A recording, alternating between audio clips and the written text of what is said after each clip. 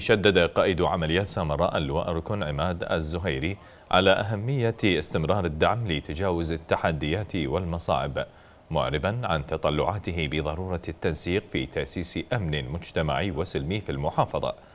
وأكد قائد العمليات خلال اللقاء على دور قناة سامراء الذي لعبته خلال الحرب ضد الإرهاب وأنها كانت داعمة للقوات الأمنية وكاميرتها كانت في الجبهة والصفوف الأمامية للمقاتلين ضد الإرهاب لافتا إلى أنها ساهمت في نبذ الطائفية وغرس الروح الإيجابية لدى الشارع السامرائي خاصة والعراقيين عامة.